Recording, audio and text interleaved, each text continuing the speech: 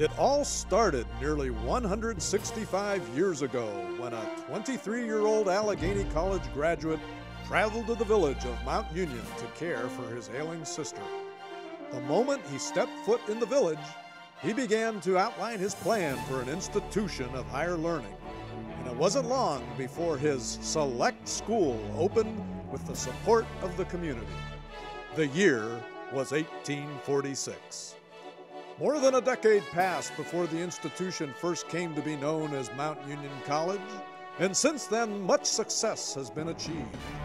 The institution has certainly seen its share of ups and downs, but its crowning achievements of the past few decades have been tremendous. From its earliest beginnings as a school in an old carding mill to the modern campus of today, Mount Union has continually evolved.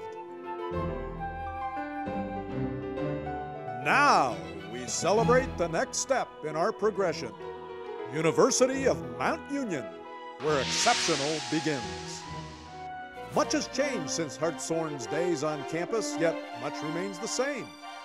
The University of Mount Union is unwavering in its commitment to provide strong and relevant academic programs, proven practical preparation, one on one personal attention, and an overall experience that guides students along in their journeys to independence.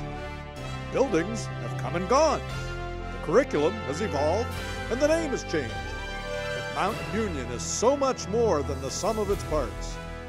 Mount Union is still its people, and that will never change.